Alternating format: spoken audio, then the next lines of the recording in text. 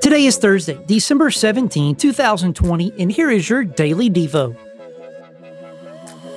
Here is this week's essential doctrine the inspiration of Scripture. The inspiration of Scripture refers to God's direction of the human authors of the Bible so that they composed and recorded His message to humankind in their original writings.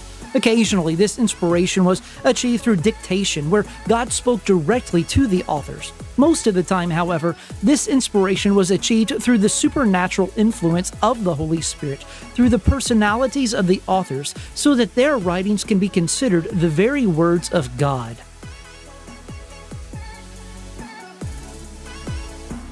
I want to invite you tonight, Thursday at 8 p.m., for my weekly Bible study through the Word. It examines the Bible passage for this week's Daily Devo.